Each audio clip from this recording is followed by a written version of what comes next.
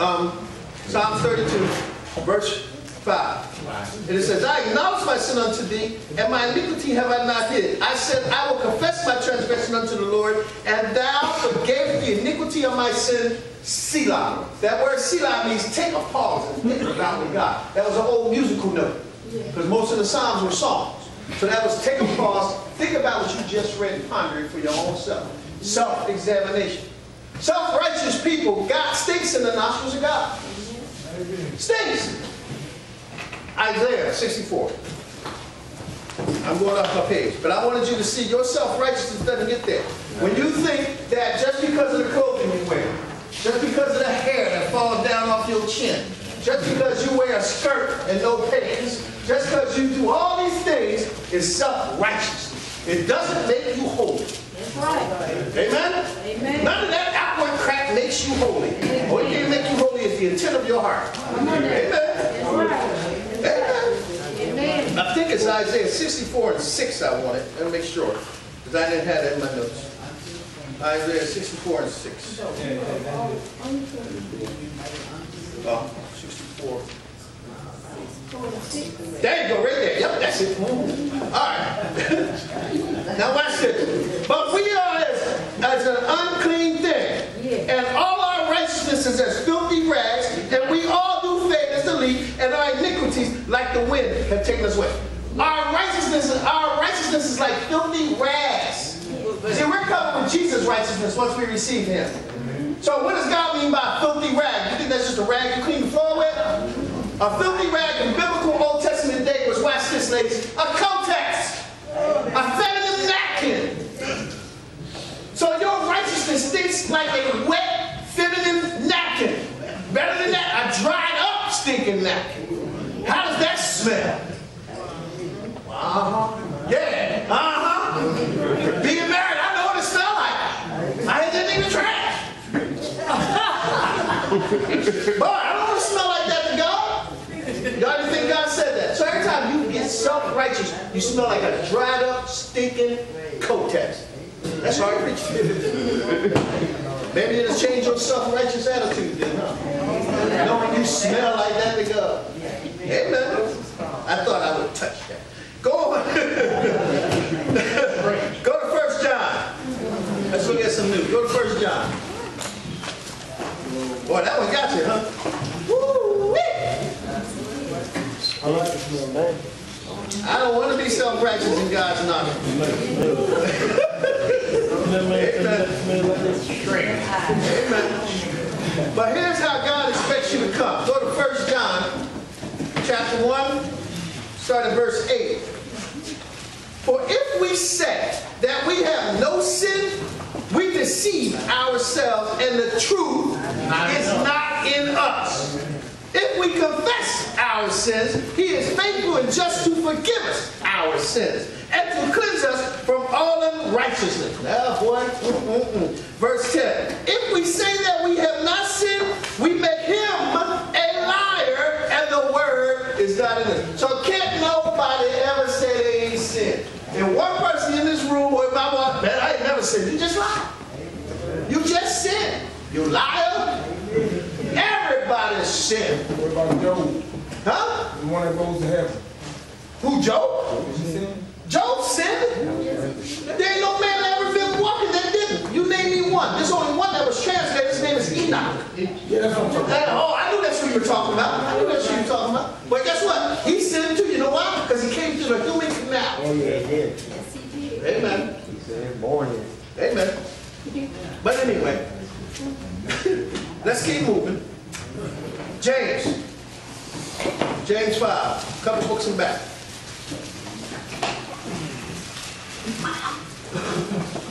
James chapter 5. Looking at uh, verse 14, 514, and it says, Whereas you know not what shall be of tomorrow, for what is your life? It is even as a vapor that appear for a little time. Am I in the right place? No, I'm.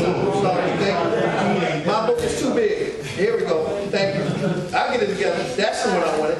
Verse 14. Is any sick among you? Let him call for the elders of the church, and let them pray over him, anointing him with oil in the name of the Lord. And the prayer of faith shall save the sick, and the Lord shall rise him up. And if he have committed sins, they shall be forgiven him. Confess your faults one to another. That's where I want to get. And pray for another that you may be healed. That effectual, fervent prayer of the righteous man availeth much. Why did I want all that? Reason being is this. You can't confess your faults one to another. Amen. You need to go to somebody who's mature. Half the people you try to tell your faults to, they're going to use them against you. Especially if you're a baby saint. That's why you go in the office and tell Pastor your mess, tell Ryan your mess, or tell me your mess, because you know ain't going to go nowhere. We're mature. Amen? But it also says when you confess, you're healed. Why? Because when you're talking to people who know how to pray to God, that's why I said the fervent prayer of the righteous man availeth. Fervent means your hot prayer. I got a connection with God. Why you want to go talk to somebody who ain't got no connection? They just as messed up as you. It ain't going nowhere. They ain't even serious about God. They have an outward appearance of wanting to worship God. You would know through time whether that person really loves God. I don't care whether they got on a suit, whether they got on uh, khakis. I don't care what they got. I mean, some of the most mightiest, righteous people who were dressed in the street in a crazy house. Amen. In prison. But I used to think they had to be looking. Forget that. You don't know who God gonna use. Matter of fact, if John the Baptist come out of the woods with on and eating grasshoppers, and he was a mighty man of God, people thought he was nuts. Amen. So you know they think you are. Come on. Back to Nehemiah 9. Nehemiah chapter 9. Main reason why I'm bringing out all this is because I know we're going to continually do the Holy Communion. Uh, for those of you who come here regularly and those who are in-house, I want you to understand what you're doing. Get an attitude of forgiveness in your heart. Get an attitude of confession. Get an attitude of repentance. Amen? Yes. You know, because I used to get high and go right to the church and ask God to forgive me before I take it. But you just got high the night before. Guess what? It didn't matter. Because it was my heart. But guess what? From year after year, me taking the Holy Communion. Because the righteousness of Jesus set me free. Not no man. Amen. Y'all get that?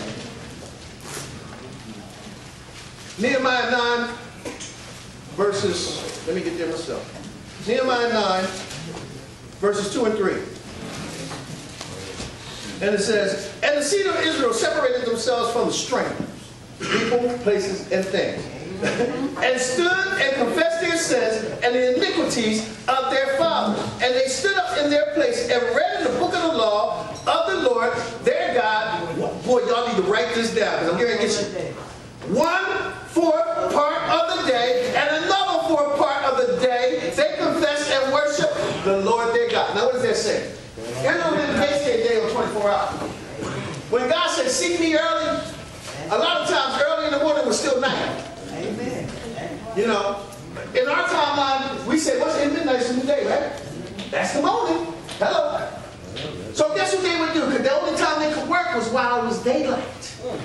Amen. Bear with it. Bear with it. but the only time they can work is, you know, during the daytime. So that means they got up early, spending three hours. One fourth of the day, that was a 12 hour day, they spend three hours reading the word. We can't spend three minutes. They spend the next three praying. We can't even pray three seconds. You see how they seeked God. Then they went to work. So even before they went to work, they studied their word and they prayed. Then they went to work. Amen. What do you want to do? Have folk just come to church on Sunday for an hour and leave. Don't even think about God the rest of the week. Could care less. No, God is requiring more than that. All I got to do is call on the name of Jesus. I can look any old way, act any old kind of way, and I'm representing Christ. Give me a break.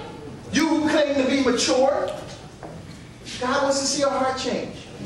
Amen? He wants to see your heart change. Excellence ain't because you got on Gucci. Amen? Excellence ain't because you got a Rolex. Half the time, those people are going straight to hell. They worshiping that. Excellence is a heart condition, people. Amen. Excellence says, I serve the Lord. I'm a representation. Ambassador and an minister. So guess what I need to look like? I need to have my hair cut. I need to be shaven. I don't care if I got on the best clothes. I still need to be neat. Amen. I don't need to be wrinkled. Amen. Amen. Come on, brothers and sisters. Amen. Amen. Go to 2 Corinthians chapter 6.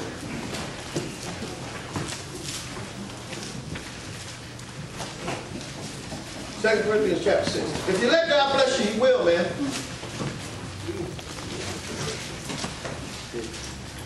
I'm going to prove it to you. But you got to come out from among them. You can't say you serve Jesus and want to still hang out with the same sin. Amen. Especially, the only reason why Jesus hung out with sinners is because they needed a doctor. He didn't, he didn't compromise. If you ain't strong enough to be around people because you used to drink, or you used to smoke weed, or you used to smoke crack, you know right then and there you don't need to be around those kind of people because your body and your flesh can't handle it. So you know, you see that, you need to go the other way. But as you get strengthened and mature in the Lord, you go sit amongst them. But guess what you're going to be doing? Not condemning them, not saying, brother, you wrong for drinking that alcohol. But then you see an example of someone who was once where they were, and now they're living right. Wow, God brought him out, and I know what he used to do. You know what I mean? My God, if he can do it for him, I know he can do it for me. That's why you need to walk in the excellence of Jesus. So that others can look at you and say, man, because I know he didn't get him out. Ain't no way in the world that man brought him out himself. But it had to be a God. Had to be a God. 2 Corinthians 6, starting at verse 14. I'm not make sure I'm on the right page. All right, here we go. Be ye not unequally yoked together with what? Unbelievers. For what fellowship have righteousness with unrighteousness? And what communion has light with darkness? And what concord? That word concord means unity. And what word agreement? What agreement has Christ with Baal? Who's Baal? The devil. Amen. Or what part has he that believed with an infidel? And what agreement has the temple of God with idols? For you are the temple of the living God, people. For you are the temple of the living God. As God has said, I will dwell in them. Amen. And walk in them. Amen. And I will be their God, and they shall be my people. Wherefore, come out from among them and be ye separated, said the Lord, and touch not the unclean thing, and I will receive you. All right. And will be your father unto you, and you shall be my sons and daughters, said the Lord Almighty. All right. Amen. People, places, and things. Come out from among them. Now, I don't mean be a hypocrite. talking, know, I can't be around you, you don't know Jesus. That's the one you need to be around the time. They need the Lord. Stop, I don't know when we as a church going to stop getting the saved saved. I'm so sick of going to all these church meetings and we only preaching to those who said they love Jesus. And forget about those who are still walking around. Amen. Why do you think I love coming here? Mm-hmm. I can preach in the church all day. They ain't getting them saved. My message ain't for them. My message is for you. You know why my message is for you? Because I've been exactly like you. And I know what Jesus can do if you let him. Amen. Did it happen to me overnight? I will never lie to you. You're looking at 20 years of getting his butt kicked by Jesus. I finally had to say, I'm tired of getting whipping from my daddy. I might as well line up or I'm going to die. I don't want to die. Not in my sin. Amen? So that's what woke me up. Amen. Go to Daniel. Chapter 9. Daniel chapter 9. Oh, uh, yeah, that's. Daniel 9.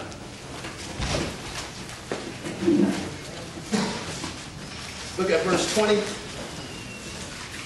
to 23. And while I was speaking and praying and confessing, see, while I was speaking and praying and confessing my sin and the sin of my people Israel, and presenting my supplication before the Lord my God for the holy mountain of my God, yes, while I was speaking in prayer, even the man Gabriel, whom I had seen in a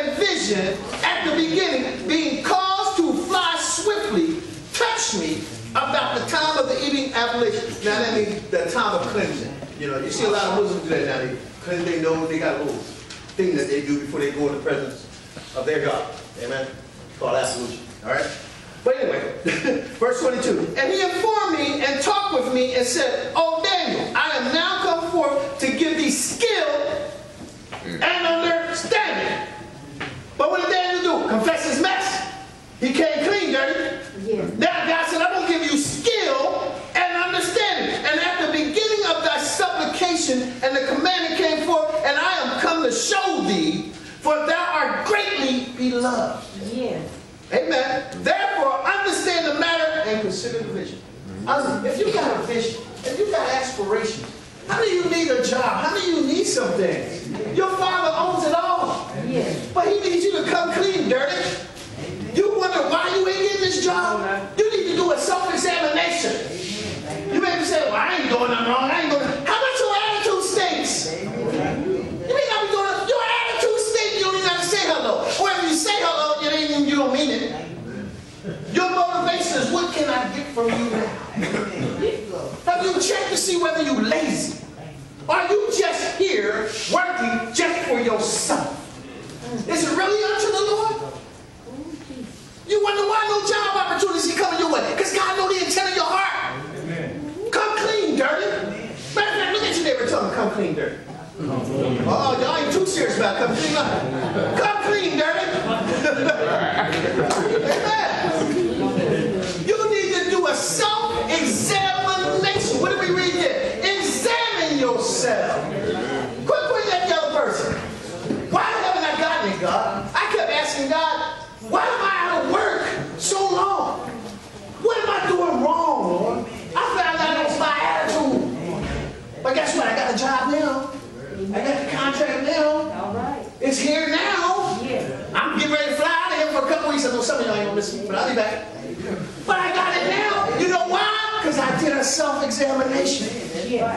I wasn't treating my wife in the right attitude. I wasn't treating my ministry right. I wasn't even treating God right.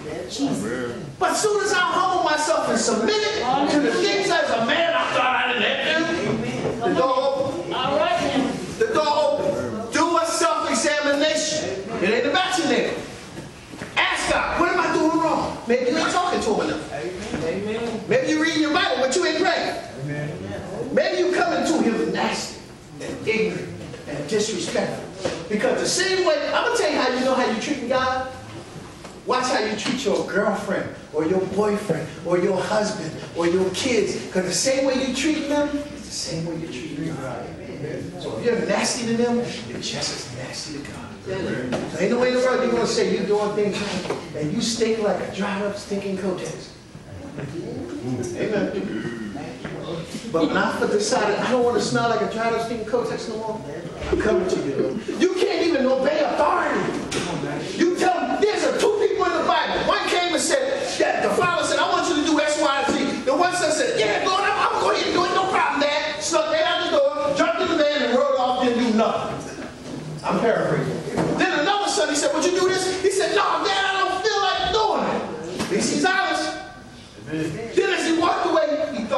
Himself and went and did what his father told him to do. See?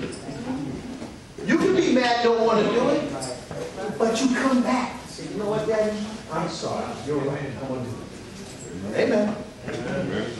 Do a self-examination. Confess your mess and come clean, dirty, because you're all dirty. You're all dirty. We all deserve a Savior. And we all deserve hell. So come clean, dirty. Woo! Amen. Go over to verse, stay in Dan- Daniel 9, look at verses 3 and 4. And I set my face unto the Lord to seek by what? Prayer. Seek by prayer and supplication with what? Fasting and sackcloth and ashes. And I prayed unto the Lord my God and made my confession and said, O Lord, the great and dreadful God, keeping the covenant and the mercy to them that love him and to them that Amen. Amen. Go to Matthew chapter 3. Come on, we got a few more. I'll be out your way. Y'all heard from me to get out your way with this one? Amen. I ain't gonna stop and God told me to stop anyway. It don't matter. Matthew chapter 3. Looking at uh, verses 69. 3 verses 69. And were baptized with him in Jordan, confessing their sins. Now, this must have been John the Baptist baptizing him. And I'd like to say, y'all need to understand something about the Jordan. Now, baptism necessary? No. Baptism a commandment? No. Amen, it's not. But do you do it because you love them? Amen. Because if that were the case, if baptism was necessary, how did he from the cross make it in without baptism? Did you ever ask yourself that question? He sure enough couldn't get off that cross. No, he didn't. He's short, watch this, and he sure received the recompense of his sin. Yes, he But did. guess what? He still got forgiven, and Jesus even told him this day, you should be with me in heaven. Amen. But see, you need to understand something about the Jordan. The Jordan was a place where Israel had to step out in faith. See, they got they got carried through the Dead Sea. Remember when they opened up? They walked through it, and then when the Egyptians tried to come through, it crashed. Boom, they were dead. But when they got to Jordan, it was time for them to step now. They had to step out in faith. Y'all ain't hearing me. I'm to come back with a message on that. But watch this. The Jordan is where they defecate. They urinate. They do everything in it. Are y'all hearing? Every nasty thing that they could come up with was thrown in the Jordan. But watch this. God said go get baptized. Because you know what baptism is? Immersion. So that means they had to have their whole body in it. Because baptism says when you rise up, all your sins roll down the river. Right there. So the dirtiest thing was the same thing that made you clean. Ain't that deep? Woo! Come on now. People tell me, I ain't get shut. I dive right in it. Better know it. Leave all my dirt up in there. But look at this, verse 7. But when he saw many of the Pharisees and Sadducees, many of the legalistic people, many of those practicing the law but don't have the heart of Jesus in them, amen, come to his baptism, he said unto them, see, John and Jesus will cuss you out. See, see cuss words as four letter words. But watch what he says to them. Oh, you generation of vipers, you snakes, you slippery. he said, Oh, you generation of vipers, who warned you to flee from the judgment to come or the wrath from God to come? Bring forth therefore fruits, meet for what? Repentance. Yes. Turning away from. And think not to say within yourselves, we have Abraham for our father. For I say unto you that God is able of these stones to raise up children unto Abraham. He's talking about you raising you up in this day. Because you can't say my daddy was a preacher. that's all they were saying. We got Abraham. While my mama was a preacher. My uncle served in the church and he was head deacon. Oh, my daddy was a trustee. Of that stuff works, people. This is a personal choice. A heart choice. Like I said the other week when I read this before. I said your parents will be up in heaven while you will be in hell. And they ain't gonna have, they ain't gonna hurt, they ain't gonna cry, because there's no more sickness, no more pain, and no more tears in heaven. But you will be in hell looking up, talking about, think of my mama, think of my daddy. Flames flying on up. No, Lord. Amen. I'm only being truthful with you. Go to Mark chapter 1. Mark 1. Come on, we got a few more minutes. Oh, man. All right. Because I want to get to this story. And maybe we'll close after this story. One of the great examples of a person. But let's go to Mark 1. One of the great examples of a person we're going to get ready to look at who refused to confess their sin until they got caught. God was talking. We're we're going to look at him in a minute. All right. Mark chapter 1, verses 4 and 5. And it says, John did baptize in the wilderness and preached the baptism of repentance for the remission of sin. And there went out unto him all the land of Judea and they of Jerusalem, and were all baptized of him in the river Jordan, confessing their sin. I want to bring that out that you had to go in that Jordan. Amen? And you have to be baptized. You know, I would never tell nobody they shouldn't get baptized. But baptism is not a prerequisite, prerequisite for salvation. Amen. Somebody tell, me well, you ain't saved because you ain't get baptized. You know, I don't believe in fetal baptism either, taking the baby and have water poured on him. Baptism is emergent. That's a great ceremony. Amen? But it ain't nowhere in the Word of God. It's called Because after a while, your children have to make their own choice. So it's up to you to raise that child, to acknowledge who God is, and that child, after a while, knows good from evil, and they make the choice.